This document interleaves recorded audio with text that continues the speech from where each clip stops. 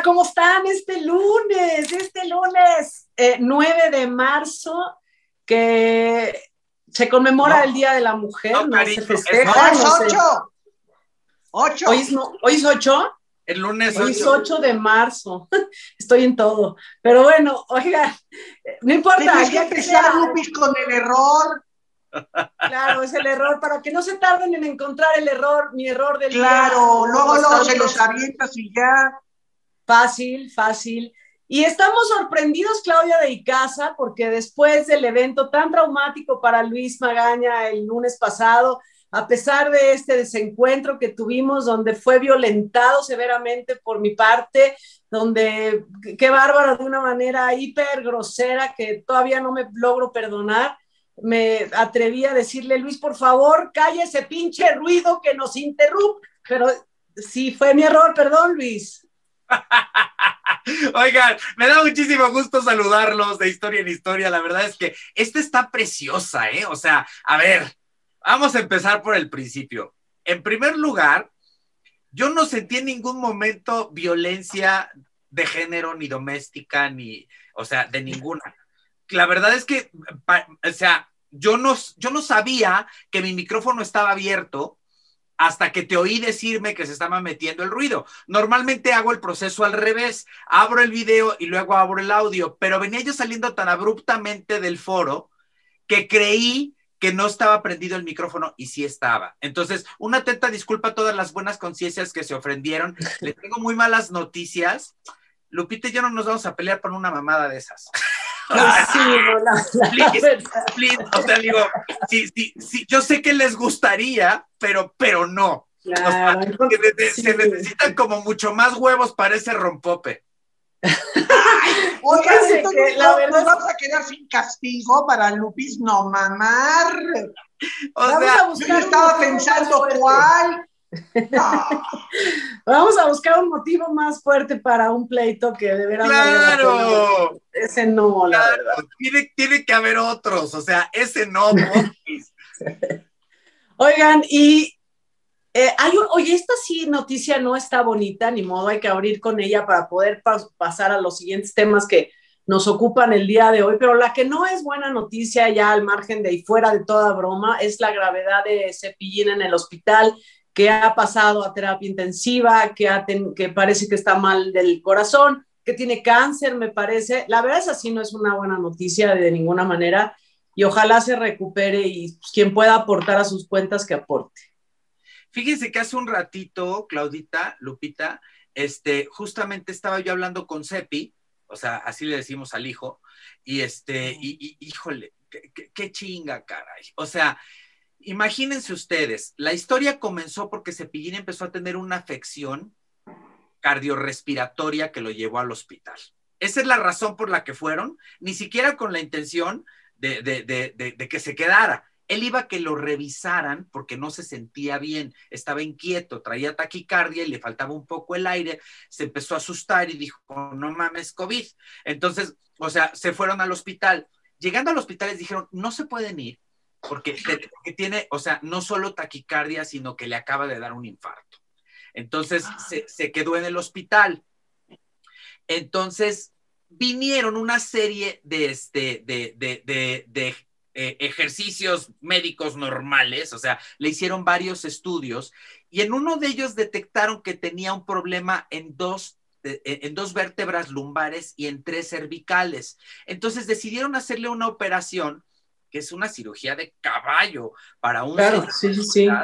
O sea, digo, estamos hablando, está muy cabrón, o sea, le pusieron grapas y tornillos para enderezarle la, la columna porque el golpe que se dio en la escalera no era para tanto, solamente le causó el problema de respiración que lo llevaron. Nunca se imaginaron que el tropezón, porque en realidad, o sea, lo que dice ese pie es real, se cayó de dos escalones. No, no es que rodó y, o sea, no, no, no, él solo se sintió incómodo y decidieron llevarlo para evitar cualquier problema y este, y, la caída resultó que pues tenía una afección en la columna.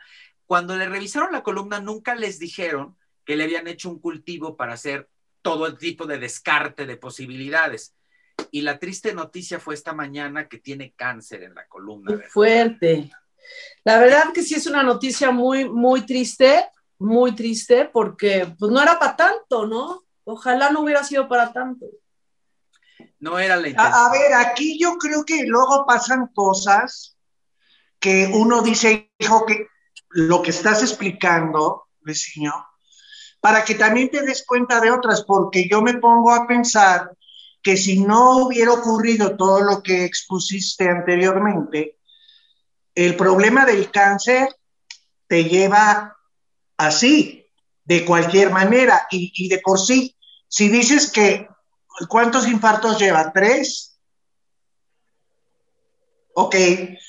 Eh, yo creo que era como para un aviso, parece mentira, pero era para un aviso, ¿no? Y, ahora pues ya la cosa se empezó a complicar más porque ya esta mañana, cuando lo metieron a terapia intensiva, también tiene un problema en el esófago que le, que le está eh, eh, complicando la, la, entrada y salida de alimentos. Este también tiene un problema en el riñón. O sea, ay Dios bendito, está, O sea, sí se está complicando mucho su salud, qué triste. Y ojalá, ojalá logre salir adelante, de verdad para que sigamos aquí peleando con sus declaraciones y todo, que es en realidad es el fondo. Ojalá se recupere. Por supuesto que nos preocupa su salud. ¿No? Bueno, oigan, y cambiando de tema, este día que es 8 de marzo, 8 de marzo, aquí nadie se equivoca. aquí nadie se equivoca, que es el Día Internacional de la Mujer. Les quiero platicar que ayer en la madrugada me puse a ver, bueno, en la nochecita, casi madrugada, me puse a ver un documental en Netflix que se llama Nevenka Fernández, que es la historia de una mujer española que en el año 99 entra a trabajar ahí al, como concejala en, en un ayuntamiento en España, eh, en un lugar de España, de León, de la provincia de León, y entonces eh, sufre en el año 2000 acoso sexual por parte del alcalde que se llamaba Ismael Álvarez, y ella denuncia en el año 2000 este acoso. Imagínate, hace 21 años denunciar acoso sexual contra un político que además era su jefe, como fue ella tachada de ser eh, una mentirosa, el hombre este dijo que no era cierto, fue acosada por uno de los fiscales, tuvieron que cambiar al fiscal. El caso es interesante, véanlo en Netflix, porque tiene mucho que ver, yo creo que el estreno es muy oportuno, por supuesto fue, yo creo que con toda la intención, porque es un antecedente a todo este movimiento que se ve ahora con respecto a esta cantidad de denuncias que estamos viendo que parece, es una avalancha, o sea que ya, por favor, ya no, esto no para, esto le, ayer le decía a Claudio esto, esto, no, esto no para. Pero bueno, pues esto es un antecedente en una sociedad muy machista, en una sociedad muy patriarcal.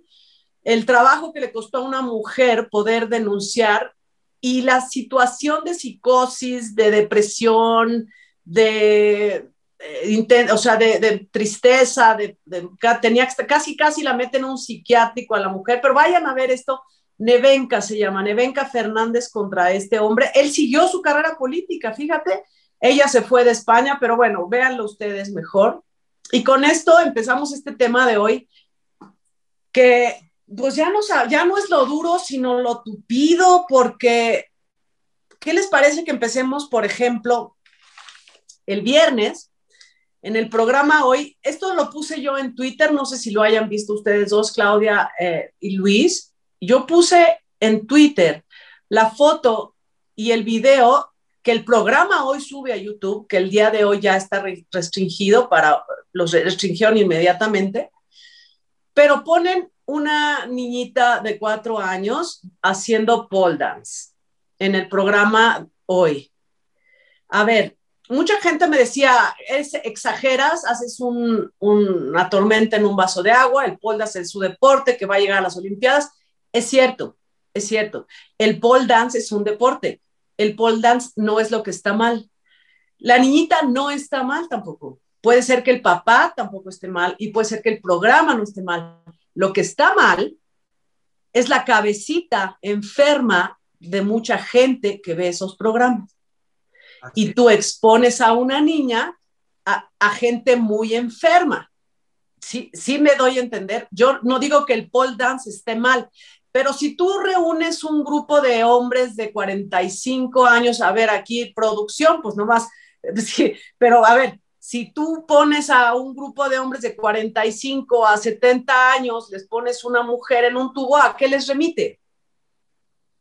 Pues a un table.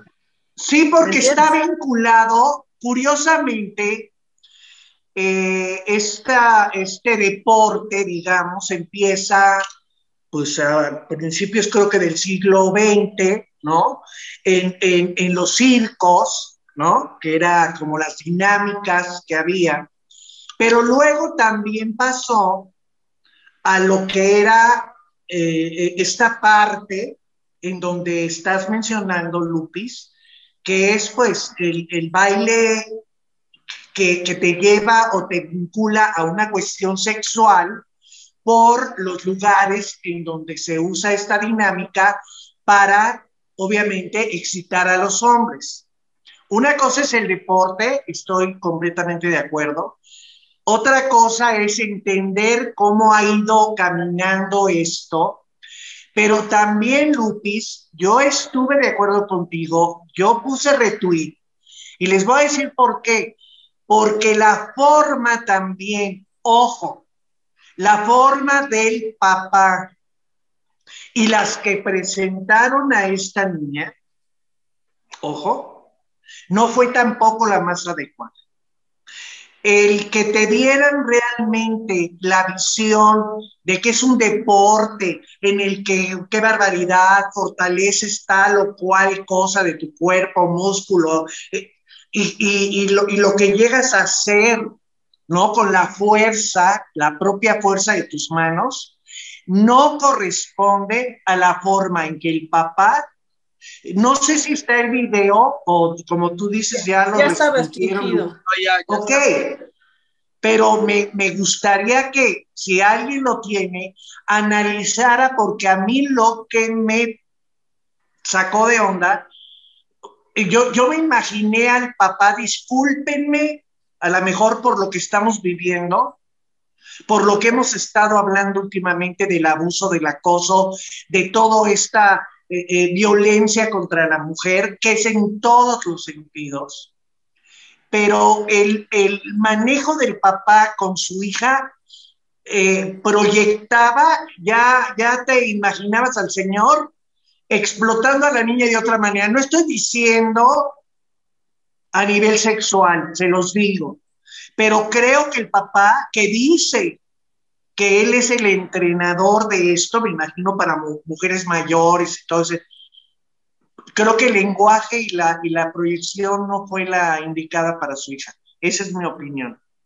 Punto. Ok, Luis. Es que, a ver, o sea, estamos viviendo en un país, en un continente y en un mundo que no nos representa claramente. O sea, estamos en un México en el que nuestro presidente pone cercos para marcar la equidad de género. O sea, estamos partiendo de esa base. En un país machista en donde las mujeres no han tenido todavía ni el valor, ni el peso, ni la presencia que merecen por el trabajo que realizan. Y a los hijos, hombres, se nos sigue educando de una manera de poner esos cercos y el mismo, y el mismo eh, poder lo avala. Entonces, la agresión de poner un contenido de este estilo en un programa matutino dirigido a señoras es definitivamente una grave equivocación, porque el contexto lo es todo.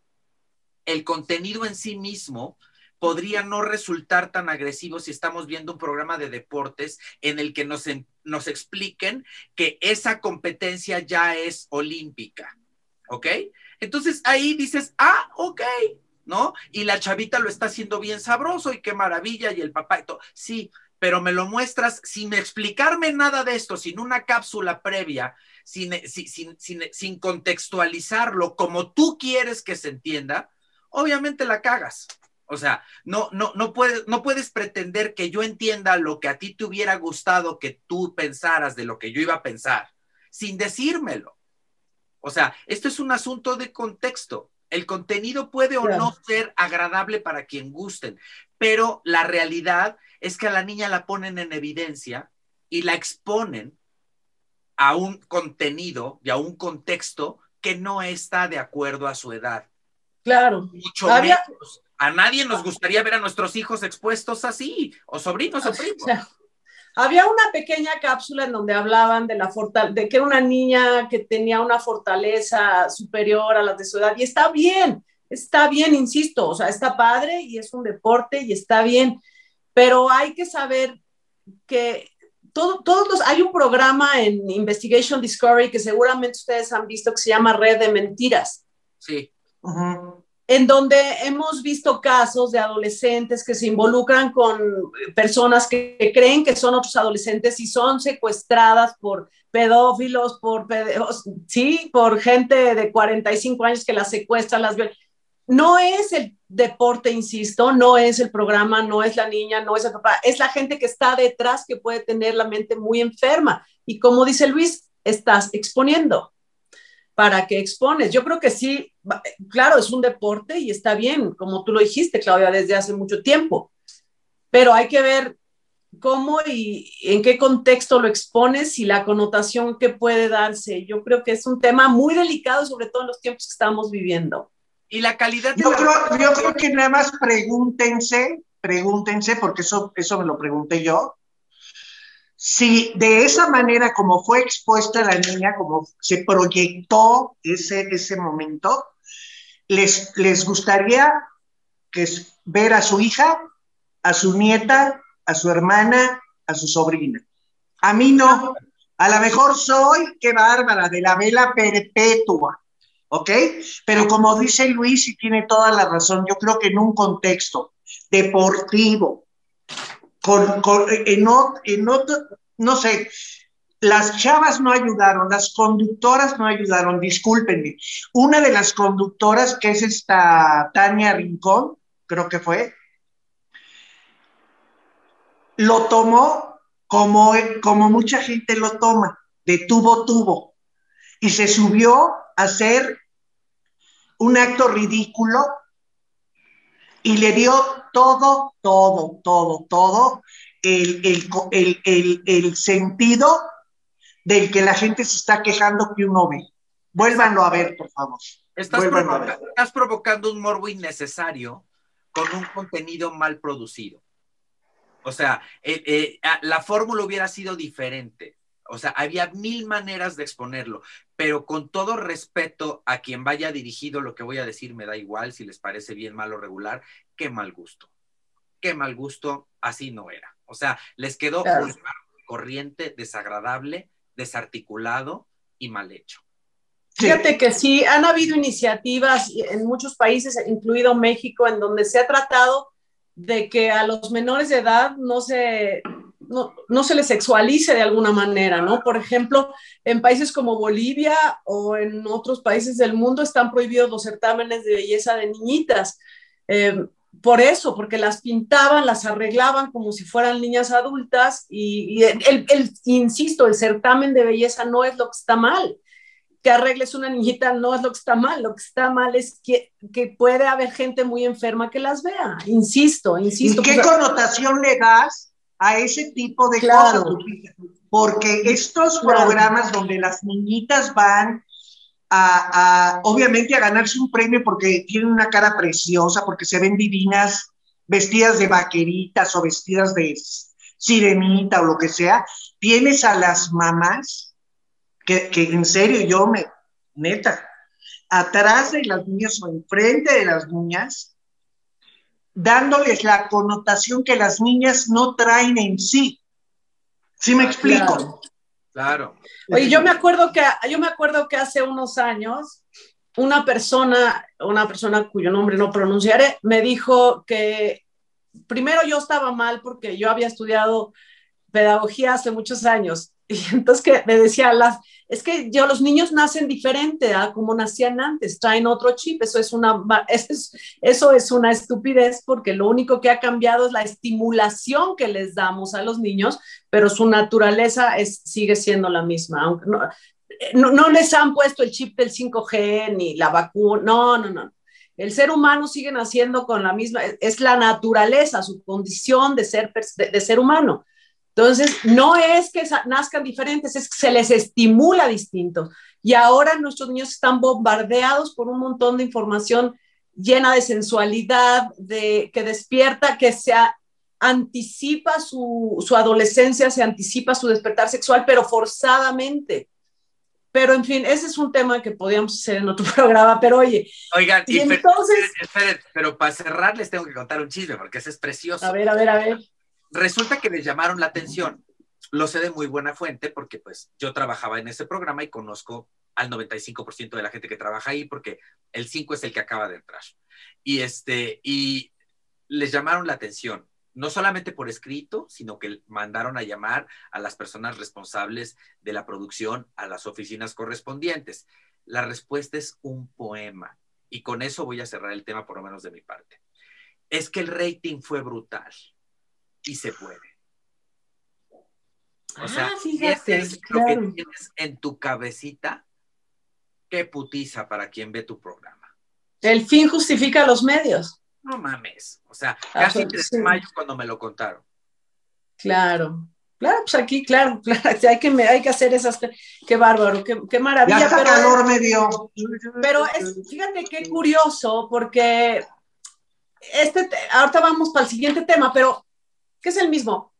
Qué curioso que esta niñita es expuesta en un programa que sale que, es después de un noticiero donde hay una mujer como Paola Rojas, aguerrida, feminista, defensora de los derechos en contra de la violencia contra las mujeres, que tienen en otros, no, no entiendo, pero entonces, ¿qué tiene? ¿Qué tiene que, o sea, no, no entiendo, se me parece contradictorio por parte del canal, porque, a ver, ni el programa hoy es independiente y su productora, ni la señora Paola Rojas, que me merece absolutamente todo mi respeto, que me parece una estupenda periodista, eh, eh, son dueñas del canal. No hay una uniformidad de criterio en el canal de las estrellas. no hay que una mujer defienda a las mujeres, pero por otro lado la siguiente productora las exponga. Qué contradictorio, ¿en ¿no? Serio, en serio, en serio, el rating vale la pena para eso. O sea, pues sí, yo creo que en el público morbo, desapego, maltrato, violencia de género, ¿en serio? Es como, Pero deja eso, restringieron el video, ¿no? Por sí. Pues si no tenía nada de malo, pues lo hubieran dejado, si no estaba mal, ¿no? Claro. Hubieran tenido todavía más visitas en YouTube. Oye, claro. y a propósito de esto, el, ayer que estaba revisando ya pues el, el Twitter, venía, había muchos videos de mujeres, de periodistas, de activistas, de actrices, de cantantes, hacen videos hablando de la mujer, de los derechos, está bien, y eso me parece que está muy bien, hay que hacerlo y hay que alzar la voz, el que quiera hacerlo, ¿no? Cada quien tendrá su manera de hacerlo. En uno de sus videos estaba Mónica Garza, que trabaja en Televisión Azteca, quien también es una periodista de toda la vida, defensora también de los derechos de las mujeres, pero trabaja en la misma televisora donde aún tiene su programa Andrés Roemer, que nada más ha acumulado 61 denuncias por acoso sexual que tuvo que blindar su casa porque tenía miedo de que le fueran a hacer algo. Y ahí estaba su casa tachada como cónsul abusador, vas a caer, la, la, la, la. Porque, pues si recordamos, lo dijimos en el programa pasado, él estaba en la UNESCO como de buena voluntad y ya salió para afuera. También tenía una calle, fíjate, en, en, una, en un lugar de Israel le habían puesto una calle y ya pues los, eh, dijeron, oye, pues ¿cómo vamos a tener una calle con el nombre de Andrés Rueme? Porque, pues ¿cómo? También la gente que trabajó con él en el consulado de San Francisco se quejaron en algún momento de que se dedicaba a las fiestas, de que jugaba y acosaba y demás. Lo que es inexplicable entonces es como ese discurso de algunos programas, a ver Claudia, yo no lo vi, pero algunos programas hablando de las mujeres y todo, y, lo seguimos teniendo a él al, aire. No, yo casi me ahogo, no sé si del coraje, de la risa o de qué, Luis.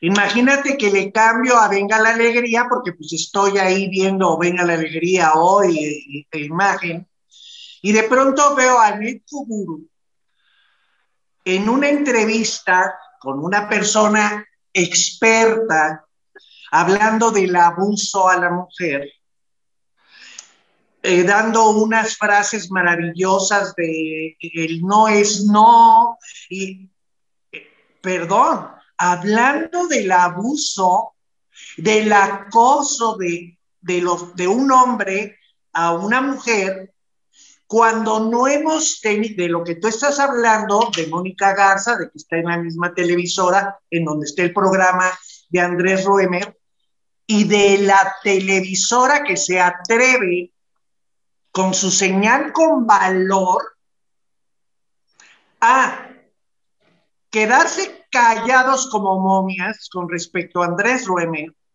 pero por otro lado tratando, y nada más es tratando porque no lo logran, tratando de decir que están poniendo su granito con respecto al tema del abuso y del acoso. ¿Cómo puede haber tanta incongruencia en una televisora que habla de señal con valor, que se quedan callados, en donde promueven y todavía tienen un programa de alguien que tiene 61 denuncias de acoso, de abuso, etcétera, y quieren hablar en un programa de revista de eso? Lupita, te juro que yo no daba crédito a lo que vi hoy. Pues es que es lo mismo que te digo del canal de las estrellas, que no hay una uniformidad de criterio. O sea, ¿cómo? O sea, por un lado en un programa sí y por otro en otro programa no. No entiendo el canal, o sea, como los directores de esos canales, ¿cómo? ¿Cómo? O sea, ¿cómo? No entiendo. Pero es que parece... Vivimos, vivimos en un país donde no hay uniformidad en nada. O sea, van a poner, a pesar de los pesares, como candidato a gobernador de Guerrero a un señor que es violador. Es un violador, comprobado. No platicado, no, no o sea, no sospechado, no de ay, pobrecito. No. no, no, no. Comprobado. O sea, partiendo de esa base, pues todo lo demás es posible, ¿no? y además, además ¿qué, ¿qué mensaje están dando? El señor presidente desde Palacio, que sinceramente yo siento que siempre acaba por tragar camote, porque es una belleza, es un poema lo que hay de los nombres de las mujeres y todo lo que fueron a poner las mujeres. En ese muro que él habla de la paz, de la paz, no sé de qué paz está hablando, no sé de qué, el muro de la paz. paz, Ajá, no, no, no entiendo. Pero qué curioso, porque pone en su muro él y Andrés Ruemer, que también puso su murote en su casa, para no ser pintada, para no ser... Y al final de cuentas, pusieron un muro enorme estos dos para el reconocimiento. Y el reconocimiento a ellos está súper fuerte y súper cabrón. Pero ni eso se dan cuenta. Que qué va, no qué Claro, el, muro de la, el muro de la vergüenza que nos, nos escuchan de otros países, bueno, eh, eh, aquí en México lo han visto todos en los periódicos, bueno, y, lo han reportado, ¿eh? Lo han reportado eh, periódicos, o sea, periódicos diarios en, en otro, en, en el mundo, la BBC de Londres, han reportado que este muro de la vergüenza, porque no es ninguna muralla de la paz, esto es mentira, es un muro de la vergüenza, ¿cómo es posible que cualquier monumento sea más valioso que cualquier vida? Pero bueno, este muro de la vergüenza que han puesto, detrás del cual se esconde su cobardía, su falta de huevos para defender mujeres en este país, para alzar la voz, se, ha hecho un memorial, un memorial bonito, se hizo una proyección terrible, oye, que esas imágenes que vimos ayer, eh, un colectivo de feministas hizo una proyección sobre Palacio Nacional en donde se ve México feminicida, eh, aborto legal ya, oye, qué fuertes imágenes en un país que vivimos desde hace ya muchos años, que no es privativo de este sexenio, vivimos una prácticamente una guerra de muchísimos muertos en este país. Qué fuertes imágenes, ¿no? aparte que... Sí, pero mira, Lupita, yo no, yo soy apartidista, perdóname Luis que te interrumpa, yo soy apartidista, pero sí te voy a decir algo. Jamás impensable Y, yo, no, yo no le limpio la cola a ningún maldito partido y a ningún maldito sexenio. Pero discúlpame, este sexenio es la vergüenza total con relación a la violencia en este país y con relación a lo, lo nada, nada, porque nada es nada del apoyo a las mujeres y de la protección a las mujeres.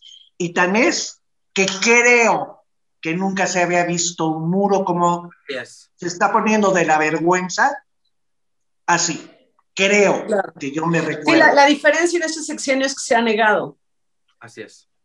Que nosotros no se ha visto nada, pero, pero pues por lo menos eh, son víctimas colaterales, o sea, tonterías, pero pues sí. Va, pero y tú ibas a decir, Luis, perdón. No, es que yo, yo, les, yo les iba a decir que además, eh, o sea, pareciera que todo lo que sucede no pasa. O sea, no voltean a los lados para ver la cantidad de mujeres desaparecidas, violadas, violentadas, agredidas. O sea, ellos viven en otro lugar. Ellos creen que por poner a la señora Olga Sánchez Cordero, con quien yo no tengo ningún contacto ni, ni la conozco, pero con eso cumplieron con su cuota. Estamos viviendo en un gobierno en el que nada más damos poquito la gente que está en el poder, ¿no? Nomás para que no se quejen Vamos a dar lo mínimo que se necesita para que no hagan pedo. Si se trata de las vacunas, poquitas, nomás para que no hagan pedo. Si se trata de despensas, también poquitas. Si, si son candidatos, poquitos. O sea, todo, todo es de a poquito, nomás para que no se haga pedo. Y esa contención es la que nos está llevando a estar todos hasta la madre. A ya no querer escuchar esos poquitos, porque ya no les crees. Y a mí me parece muy triste de verdad que tengan que estar poniendo un muro para marcar una equidad de género que ellos mismos no provocan. Muy fuerte, muy fuerte. Para evitar la violencia, como dijo. Por favor. ¿Quién le cree? ¿Quién le cree, por favor?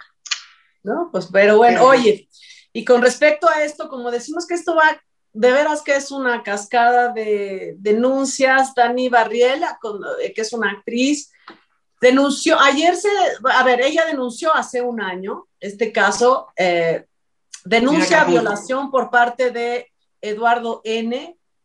en Acapulco, donde, insisto, yo del otro día volví a escuchar a una persona que decía, es que ¿por qué toman tanto? Bueno, se pueden tomar 17 botellas de mezcal, nadie puede abusar de ti punto. Entonces, bueno, eh, ella menciona en el video que pues está, había tomado y cuando se da cuenta ya están, eh, a ver, Cepillín acaba de fallecer y nos están avisando en este instante qué cosa.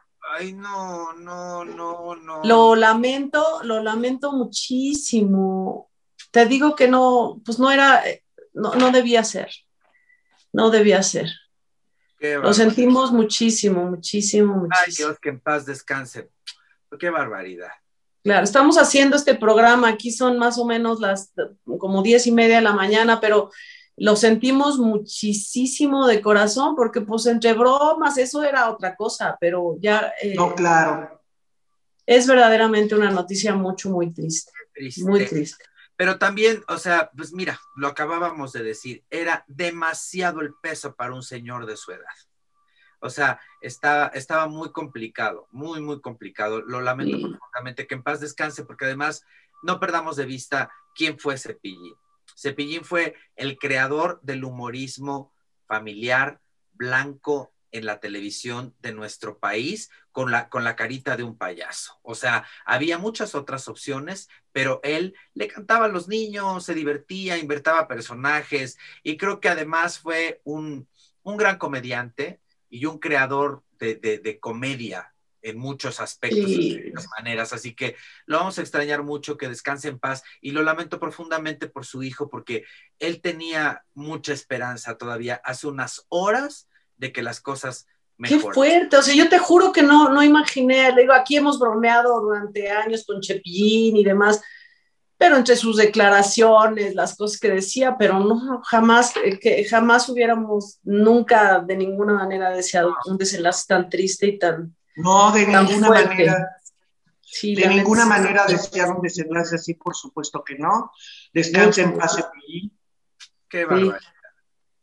Bueno, pues continuemos. Nosotros estábamos con Dani Barriel, que por fin la policía le hizo caso en esta acusación de violación a Eduardo N., en donde menciona que es la parte que viene a afectar a una telenovela que es eh, ¿Qué le pasa a mi familia? Eh, pues acusa a Gonzalo Peña de ser eh, cómplice, ¿no? ¿no? sé, no sé yo de leyes, no sé si esto se considere violación equiparada cuando está siendo testigo de una violación y no, y no haces nada o nada más es cómplice o si cooperas, la verdad no lo sé, no me atrevería, pero el problema es que detienen a este muchacho Eduardo N, que es un conductor, y ella también acusa a Gonzalo Peña, que tiene un personaje importante en la telenovela de Juan Osorio. Juan Osorio. Es que el, el, video, eh, yo no sé si ustedes ya lo vieron completo, ya me lo quemé dos veces, es desgarrador. O sea, la chavita explica paso a paso cómo estuvo la situación, el, continúa todavía. Eh, o sea, ya, no está dentro de su historia porque eso se borra 24 horas después, pero ella lo pasó a su, a su, este, a su, a su IG y tiene todavía vigencia. La gente si lo quiere ver lo puede ver porque además ya lo subieron también a YouTube. Pero ella explica con claridad qué fue lo que sucedió y en qué punto se sintió violentada y cuál fue la reacción de las dos personas que estuvieron presentes en la violación ante lo que ella les expuso que estaba sintiendo. O sea, es, es una cosa inenarrable. El tal Eduardo N., o sea, no solamente la, la, la penetró de manera forzada, sino que la agarró dormida, y encima de todo, el que estaba en la cama de junto, porque era una habitación doble, era Gonzalo Peña, según explica ella, que no sabemos todavía si se hizo el dormido, no entendió. O sea, el punto es que es inenarrable que después de todos los hechos y lo que sucedieron y la vejación que ella vivió y lo que debió haber vivido cuando despertó, o sea, porque además no, no, no durmió más que un par de horas, estaba, se sentía muy mal. O sea, y que le salgan con que no, mi amor, tú no te preocupes, ahorita te traemos de desayunar y aquí no hay pedo, todos somos familia. ¿Qué? ¿Qué? Qué fuerte, qué fuerte. Muy fuerte. Yo también vi el video con mucho cuidado, mucho detenimiento. Eh, esta niña tiene razón, Luisinho, eh, narra perfectamente bien. Es que con esa narrativa no hay forma de que estos dos paguen lo que hicieron.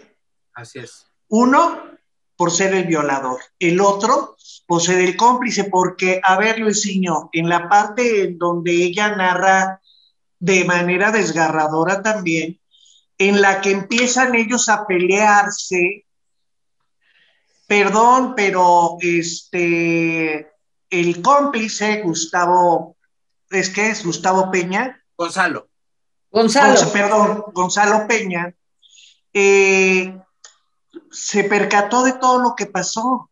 Se percató de la violación porque eh, de hecho le dice al amigo, se queja con el amigo, dice que por qué se pone tan tan enojado y encabritado, se había disfrutado, no puedo decirlo con las palabras que lo dijo esta chavita, porque la verdad no, pero este, se había gozado de la, de la violación. No con esas palabras, pero sí la había, había disfrutado a la niña, que por qué se enojaba.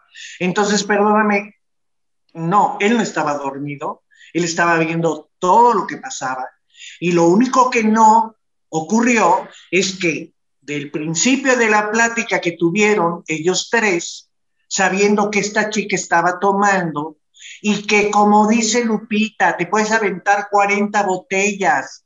Cuando dices no, como ella dijo, no, no, no, señores, es no.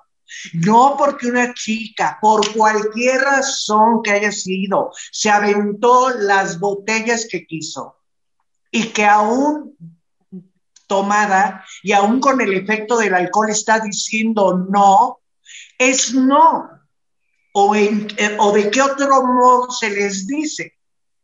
Y es que además, pues sí, si una mujer o cualquier persona, hombre o mujer, eh, el género que sea, no está en condiciones ni siquiera de responder no, pues, e, equivale a un no. Exacto. Equivale a un no. o sea, pues, es un abuso de poder. Desde que empezó el juego erótico que ella eh, plantea, ella no estaba de acuerdo. Ellos le estaban proponiendo un trío. Les dijo, no, Claro. muchas gracias. Y, o sea, entonces nos fuimos en, en oferta, ¿no? Bueno, no, no, tres por uno, no, bueno, pues dos por uno, bueno, no, uno por uno. O sea, Claro, exacto.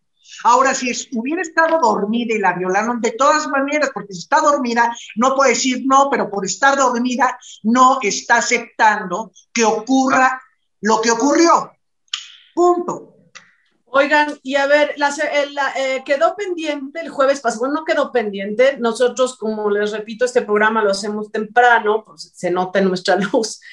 Eh, el tema de Ainara Suárez, que nosotros lo tocamos, yo la verdad lo desconocía eh, a profundidad, me dediqué a verlo porque recibimos mensajes en donde nos dijeron, y con justa razón, que estaba mal planteado. De ninguna manera le dimos la razón a Just Stop, sencillamente era la información que en este momento por lo menos nosotros teníamos. Entonces resulta que Ainara Suárez, eh, vi el video que ella presenta, tú lo viste también, Claudia, yo seguramente tú también lo viste, Luis, sí, en donde ella habla de, de cómo fueron las cosas, cómo la invitaron a una fiesta, en vez de ir a la fiesta de su amigo, fue a esta fiesta, eh, cómo fue abusada, cómo se tardó en reconocer ella misma que había sido abusada, eh, que le cayera el 20, y después viene, eh, además de esta violación, o sea, la graban, la hacen quedar mal, se distribuye este video tan terrible de una violación de una menor de edad.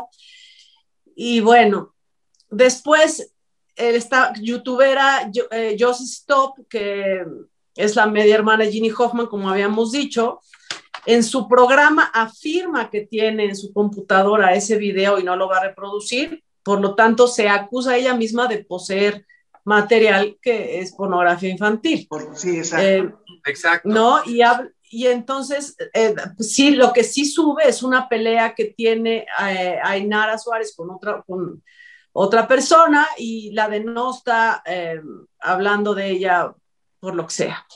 Terrible, me parece un caso terrible porque, pues, creo que hay, hay videos, tú lo sabes, Claudia, por ejemplo, yo ni siquiera veo los videos de, de gente mayor, no, pues es que no me corresponde, no te corresponde, no debes, no debes, y conservarlo menos.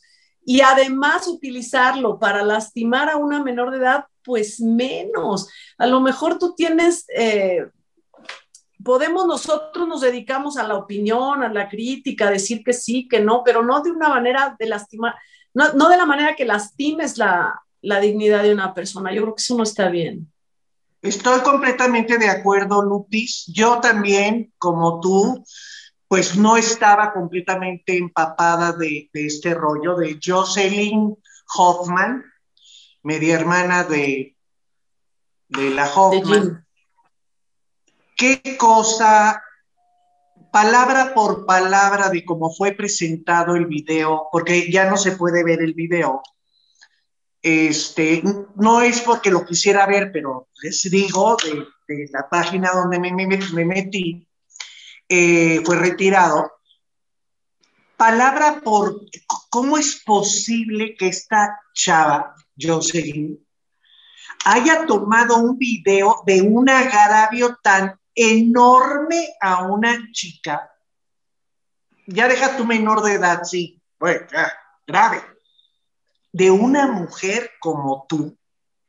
Y que te pongas a narrar con el título de generación, ay, la generación, ¿qué? Patética, Patética así. generación. Patética generación, el título, ¿no? O sea, patética generación, así es toda una generación, para empezar. Y después, tú como mujer, te pongas a repetir 80 veces, puta, puta, puta, puta, porque esta niña esto, porque esta niña el otro, y porque es de, moral extraída, como un juez que espérame tantito, así me, me encantaría buscarle dos, tres cositas a esta Jocelyn, que fácil se las podríamos encontrar. Pero no, porque Claudia, si, si, si tú te pones en esa posición, sería, serías igual. No, no, a lo que voy es, que, no, ni me importa la vieja, así como dijo que a ella tampoco le importaba la opinión de no sé, que no se iba a echar la entrevista y bla, bla, bla que dijo, que porque qué hueva de una mujer que había entrevistado a... Ojo, no se puede poner como juez una chava que viendo otros videos también de ella, de sus trabajos, ¿no? De sus cosas que hace ella, deja mucho que desear. Así es. O sea, y meterse con una menor, porque en ese momento fue menor de edad, ahora dice que le podrían dar de 7 a 14 años de cárcel y yo tampoco me meto en estas legalidades, Lupita, porque no sé, violación equiparada, bla, bla, bla, ese tipo de cosas de cómo los se, se, se, se configura un delito en ese sentido, en ese sentido. Pero es nefasto cómo presentó el video, es nefasto que salga de la boca de una mujer lo que dijo de esta chica. Así, indignante, punto. Terrible, terrible. Yo creo que aquí, aquí, aquí también apunta a quién dice qué de quién. O sea, es muy, es muy lamentable tener que escuchar a una persona con ese criterio tan deficiente, tan estridente, tan poco sensitivo, soltar ese tipo de juicio sobre otra persona que a la que también incrimina y después ya se revuelcan todos en el mismo lodo o sea, es muy difícil. O sea, aquí las cosas son claras. Hubo un atentado de violencia sexual contra un menor de edad.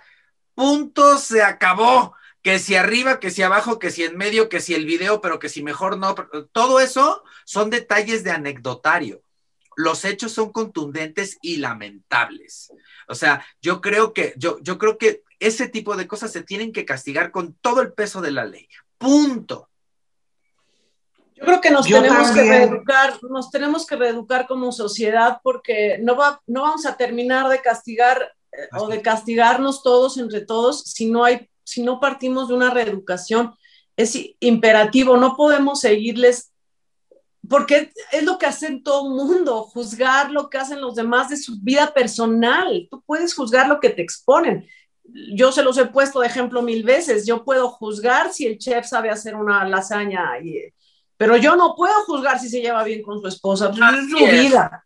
no, o sea, y ya si el señor chef se para a la mitad del restaurante a decir, oiga, les voy a presentar a mi esposa para decirles que hoy en la mañana la golpeé, bueno, pues todo el restaurante opinamos, pero no, de otra manera, no, no podemos seguir siendo una sociedad que esté juzgando a todos, porque cada uno somos distintos, en un universo diferente, en un contexto distinto. Tu vecino de la casa de junto es perfectamente diferente, aunque estén pegaditos les cae la sombra distinto del mismo árbol, en fin.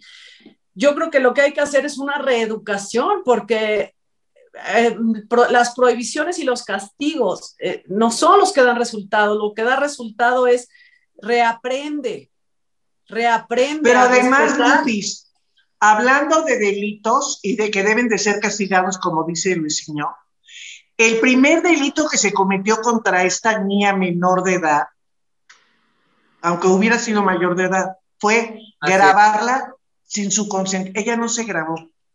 Sí, la grabaron. Claro. Estos cabroncitos la grabaron y estos cabroncitos fueron los que soltaron el video. ¿Ok? Claro. Y luego esta cabroncita de Jocelyn, porque solo tiene ese nombre, ella, agarra y sin analizar cómo viene el asunto, sin analizar y sin pensar, agarra y dice, ok, tengo un video de estas características en donde yo voy a juzgar a la niña que está ahí, sí, y no se pone a pensar que esa niña que está ahí está siendo víctima, de un delito porque le están grabando sin su consentimiento. Claro, que además nadie está exento, ¿eh? no sabemos cuándo nos puede pasar cualquier cosa, en fin. Oigan, y cambiando, ¿qué, qué o sea, lo que decíamos al principio del programa, qué fin de semana tan duro, tan fuerte, tan, tantas denuncias, ¿no? O sea, bueno, terribles, terribles. Y entonces cerramos, vamos a cerrar el programa con esta entrevista que hizo Oprah Winfrey al príncipe Harry, bueno, ya no, pues ya, ya renunció a la, a la realeza y a Meghan Markle, su esposa, en donde pues todo el mundo lo esperaba porque además era el día del Commonwealth, que pues son todos los países que están en el mercado común que tienen que ver con Inglaterra, Canadá, Inglaterra, bueno, muchos otros países. Y pues todo el mundo esperaba ver qué iban a decir. Ya se había dicho algo, ¿no? Ya se había, por ejemplo, em, dicho que una de las declaraciones del príncipe Harry había sido que, lo que ellos habían renunciado a la realeza porque no quería que con Megan pasara lo que había pasado con su madre, que había tenido una lucha feroz, encarnizada con los medios de comunicación y había acabado muerta y además. Pero entonces, entre las declaraciones que dijeron que son muy fuertes, a mí la más fuerte que yo dije, ande usted, que la preocupaba, no, o sea, creo que ella dijo con la reina Isabel siempre me llevé muy bien y fue muy buena persona, pero bueno, gente de, la realeza estaban preocupados de qué color iba a ser el, su hijo Archie, que es con el que viven ahora en Los Ángeles. Eh, de, qué, ¿De qué color iba a ser? ¿Cómo se te ocurre preguntar o preocuparte de qué color van a... Pero bueno, pues era una preocupación de gente de la Casa Real de qué color iba a ser el pequeño Archie.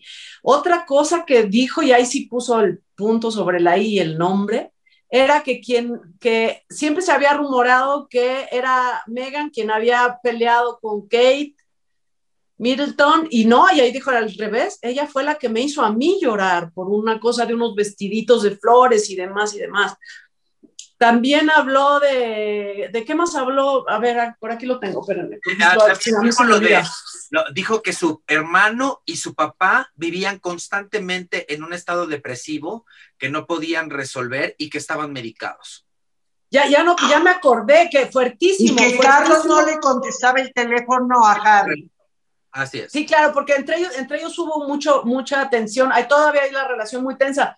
Pero ya me, oye, lo más importante, yo creo, bueno, me parece a mí lo del racismo sumamente importante porque habla de una casa real, pero gravísimo en la cuestión personal con Megan, que ella haya dicho que llegó a una depresión en donde se quería suicidar. yo creo que ahí es donde Harry dice, pues sabes qué me la voy a llevar y con toda razón. Porque se va a repetir lo de mi madre, porque te voy a decir, Fíjate qué cabrón está el, asunto, qué presión deben de vivir ahí dentro. Ni modo, así es. Que a Diana, estando embarazada de William, o, de Harry, no recuerdo bien, no me, no, perdonen, pero no me acuerdo muy bien. No importa, sí. Se, se quería suicidar.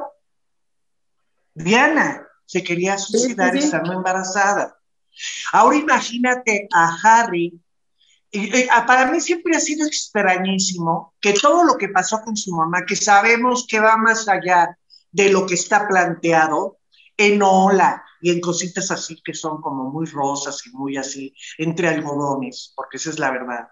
La vida de Diana en ese medio terrible del que todavía existe, no, no digo que sea, pero es que ahora que estás hablando del niñito y que se iban a hacer de otro color el hijo de Megan con Harry, aquí estaba más grave de lo que se ha hablado de que pues Diana se tenía que morir, que porque, estoy diciendo que sea cierto, que hay una hipótesis en que Diana estaba embarazada, ¿sí me explico? El musulmán. ajá, y entonces, pues, ¿cómo, ajá, cómo, lo, cómo resolvían el asunto, ¿no? Hay muchísimos programas, así como lo de O.J. Simpson, que hemos visto, que hay hipótesis y por acá y por allá, y te quedas con la que más te suene, esa es la verdad. Y aquí, gravísimo, lo que Meghan y Harry estaban viviendo como para que, bueno, a mí me pareció como más superficial aparte de, ay, pues no quiero, yo no quiero ser príncipe, yo no quiero eso, y yo me quiero. No, hay una cantidad de cosas en la profundidad de, de ese castillo Es que ahorita que, lo mencionas, ahorita que lo mencionas, ay, que sí, pobrecito. Ay, perdón, perdón, perdón. se nos cayó, se nos cayó. Vamos, es que vamos por el tercero, Lupis. Vamos por el tercero. Eh, eh, fue Cooper, fue Cooper. No, no, no, es que la verdad es que me acomodé en la silla para hablar y pisé a Cooper, entonces tiré el teléfono, pero, bueno, ya, ya está, ya está. Pero bueno, lo que, lo que les decía, ahorita que tú lo mencionaste, Claudia, entonces, y, si es especular, ¿eh? es absolutamente una especulación. Cuando muere la, la la, rey, la, princesa Diana con Dodi Al-Fayed, el padre de Dodi Al-Fayed dice, yo voy a investigar porque esto es una conspiración de la Casa Real para matar a mi hijo y a mi nuera y viene lo que o sea, posiblemente estaba embarazada. Pues se confirma porque si ellos están diciendo que no querían darle el título de príncipe al hijo de Harry, que estaban preocupados por el color que iba a tener el bebé o el, el Oye, pues ahí está muy confirmado lo de, ¿no? no, me vaya a volver a, caer porque son muy escandalosos ustedes, la verdad. Pero, aparte también, o sea, lo, que, lo que yo estaba leyendo este, hace un rato en, el, en todo lo que son las redes y los medios de comunicación y los portales gringos, que es donde pega directamente, y en los, y en los londinenses, es el contraste es precioso. O sea, mientras en Estados Unidos viene en los encabezados más fuertes y más álgidos, en Inglaterra, como si no hubiera pasado, ¿eh? O sea, salió como en cinco medios y en la BBC, en, en, en, en NBC, o sea, no está mencionado como noticia top, es más, como si no hubiera sucedido. Esto quiere decir que a Chabela le pegó. A ver, yo te voy a decir, te voy a decir, yo, tengo una intensiva ahorita, ¿eh? O sea. yo, tengo una persona muy cercana que vive allá en Inglaterra y entonces él me decía, aquí es una enemiga. Megan está considerada una enemiga y la gente de, aquí no la quiere. Hazme el favor. En general, en, y bueno, y otra cosa fue que a Boris, eh, al primer ministro, a Boris Johnson, le preguntaron si iba a haber el, y dijo, no, porque pues se va a pasar en la madrugada de aquí, entonces pues ni modo me lo voy a perder, no lo voy a ver. Por supuesto que lo minimizaron. Ah, claro, claro. Claro, claro, pues para ellos eso. Imagínate que una institución que produce tantos millones para, que tiene que ver con el turismo, que lleva tanta gente, que implica muchísimo dinero para ellos, estás lastimando, que era lo que decía, que Megan, a mí me decían que voy a lastimar a la, a la institución. Ellos se consideran, eh, imagínate, es una institución importantísima en ese país.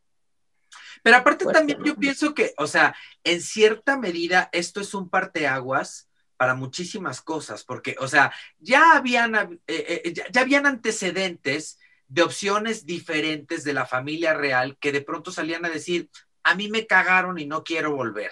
O sea, que, si la esposa de uno de los, de, de los otros hijos, se acordarán, Lady Diana misma, o sea, ya habían pasado ciertos eh, antecedentes, pero esto de una nueva generación que aparentemente podría ser la heredera del trono, diciendo aquello es una desgracia lo que sucede allá adentro, este es un golpe bajo rudísimo, o sea, algo tendrán que hacer en la, en la Casa Real, no solo para responder, sino para equilibrar el chingadazo, porque obviamente se están yendo a, a poner a la a la reina Isabel, a la inmaculada reina Isabel II de Inglaterra, como maléfica, como la mala del cuento, como, como. Oye, pero además. Una.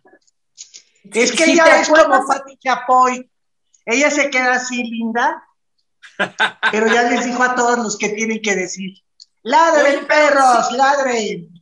Si se acuerdan, cuando salió la última temporada de The Crown, que tuvo premios ahora, o sea, ha tenido bastantes premios y ha sido muy reconocida, pues ya toca una historia muy reciente. Y entonces la Casa Real le pidió a Netflix que, pudiera, que pusiera un letrerito que dijera que todo eso es ficción y que es falso. Y pues aquí dijeron eh, eh, Harry y Meghan, pues no andan tan perdidos los de The Crown, es bastante sí, real. Ficción, ficción, no, ¿eh? Así como que ficción, ficción, pues no tanto. Oigan, ellos nada de haciendo amigos, sino es quitando parientes. Así va a ser la frase. Oye, pero, pero sí está bien cabrón, por ejemplo, yo, yo hay una parte en la que me clavé, perdóname Lupita, te interrumpí, No, pues sí, no, Ah, no, pero hay una parte en la que yo me clavé muchísimo porque me resultó muy fuerte, o sea, ¿qué pedo que tu papá no te conteste el teléfono porque te peleaste con tu abuela? No me chingues. Bueno, pero sabemos que el príncipe Carlos jamás ha sido el más brillante, ¿no? Pues por algo nadie ha abdicado, digo, la, eh, la, la reina quiere vivir 150 años para no tenerle que abdicar a, a su favor. sí, sí, sí. Por eso insiste, Claro, por eso por sigue supuesto. viva. No, no vaya a ser. Claro, pero imagínate qué fuerte la presión, porque sí se había hablado de un distanciamiento entre Kate y Meghan, y entonces Kate, que es de las favoritas, pues ahora para el, digo, será, seguirá siendo de las favoritas en Inglaterra, pero para el mundo ya tiene otra, otra imagen, ¿no? Es que Kate y William representan para la realeza y para el pueblo lo que hubieran querido que ocurriera con Carlos y con Diana. El poquito que Claro. quedó. ¿Ok? Pero como, bueno, pues igual y lo repiten, ¿no? Pero entonces yo estoy esperando que haya una Camila cacle cacle por ahí que los Pues, lleve a, a, des- a- a desbarrancarse, digo yo. Oye, pero además que, que tampoco le echen tanta tierra en Inglaterra a este, a Meghan y a Harry, porque pues ellos tienen a su príncipe Andrés ahí escondido, escondidísimo. ¿Qué tal? Oh, sí, sí, uh. sí, con su numerito, ¿no? Pero, pero Oye, pues, que ya la realeza ya está para la puta, no sé, yo creo que ya les llegó al cuello ya otra cosa, mariposa, ya. Estamos en el siglo ¿qué? 22, Ve- no, pero siglo 21, ¿verdad? 21. Sí. Ah, ya estás como yo. y ahora ahí les va la voladora, ¿eh? Me- Megan está embarazada otra vez. Exacto. Sí, tiene, va a tener niña. O sea, ahí te encargo. Entonces, yo, yo no sé, mira, me parece además como muy sintomático, ¿no? Se pudieron ido a- eh, haber ido a vivir a cualquier parte del mundo. ¿Cuál es el pedo con el presupuesto que tienen de por sí? O sea, y no decidieron Los Ángeles a 14 horas de diferencia de, vuelo. Dijeron, no, no, no, lo, lo más lejecitos que se pueda, no, nada más que sí que se hable inglés y además otra más. Estaba diciendo eh, la gente que trabaja para Oprah en un, en, un, eh, este, eh, en un portal que tienen, hace un ratito publicaron, que hay muchas cosas de la entrevista que no salieron al aire, entre otras, que Megan está a dos de regresar a la actuación. O sea, Que está bien, qué bueno. Qué bueno ahora que Chabela se nos va. Así le eligió Harry. Y Harry es el que va a tener que tener sus huevitos, porque te voy a decir algo. Siento que Harry es de los más reflexivos en esa familia, pero él también ya trae una, una, oye, unas papay- pa- este, papillas comidas ahí de la realidad que va a tener que lidiar con una vida donde Megan lo está llevando, ojo, porque de alguna manera Megan lo está, lo está salvando, sí, pero a mí el principito también me da mucho miedo. Bueno, no haciendo Oye, no. que me lo saque de su entorno y luego me lo aviente a cualquier basurero. Ah, eso tú tienes toda la razón, tienes toda la razón, claro, no lo había visto desde ese punto de vista, Claro. pero yo creo que así, yo creo que él se ha portado muy bien, yo creo que él se ha portado muy bien, ha sido solidario y ha visto por el bien de su familia por encima de otras cosas, pero bueno, ya llegamos al Ojalá y, ojalá y Megan le corresponda de la misma manera que ha sacrificado Harry. Eso es lo que yo digo, porque la pareja es pareja, nada más digo. Tienes toda la razón, Clau. Hemos llegado al final de este programa este lunes 8 de marzo y de veras lamento, yo por lo menos en lo personal lamento muchísimo la noticia de, del fallecimiento de Cepillín. De verdad me causa una enorme tristeza, se los puedo asegurar, neta, neta, neta. Y pues bueno, eh, nos vemos aquí el jueves. Gracias, Claudia Di Casa. Gracias, Lupis, gracias, Luis, gracias, producción, y gracias a todos Ay, por su muchas, tiempo. Muchas gracias a ti, mi, mi, Claudita, gracias, Lupita, y gracias a toda la gente que nos hace el favor de escucharnos y vernos en De Historia en Historia. Por favor, denle compartir, compartir, compartir, compartir, compartir. No se les olvide. y, este, y, y pues ahorita te hablo para pelearnos bien, ¿no, Lupita? Unos chingados. Claro, para seguir este pleito, para seguir este. a mí me dejaron colgada de una brocha con el castigo, ya ni la chinga, ya. Ahorita nos vamos. ya se fue Claudia. Oigan, por favor, pongan la campanita para que les recuerde el programa este, los que siguen, siempre tenemos un chat en vivo. Participen y bueno, compártanlo, por favor, regálenos esta, su suscripción, sus likes y síganos en redes sociales y muchas gracias a todos y escríbanos, critíquenos, díganos, el error ya se los dijimos, pero bueno, hasta luego a todos chicos. gracias, gracias.